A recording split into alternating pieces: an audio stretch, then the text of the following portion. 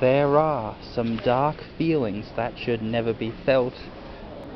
There are some horrifying thoughts that should never be dwelt. There are some bad hands that should never be dealt.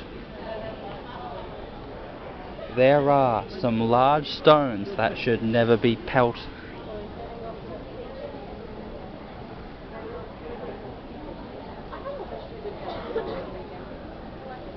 There are ice blocks of solitude that should never be melted. It doesn't even make sense.